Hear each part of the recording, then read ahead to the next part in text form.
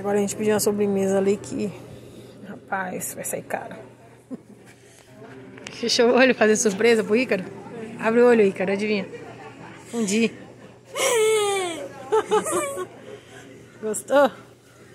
É claro. A Ana nem gosta de chocolate. Não, é alegria.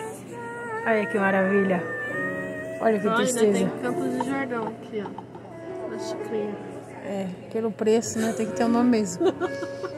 E o povo, bom que o garçom nem vem aqui, nem olha pra mim. Foi duas horas pra pedir uma sobremesa.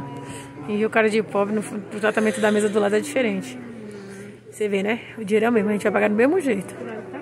Mas o tratamento, né, Ná? Fala aí. É. Fala aí. É só porque a gente não tem um poder aquisitivo. Totalmente diferente. completamente diferente. Mas é isso. Aqui, ó, eles olham pelo carro que você chega, pela roupa que você veste, não olha pelo caráter, pela postura, nada.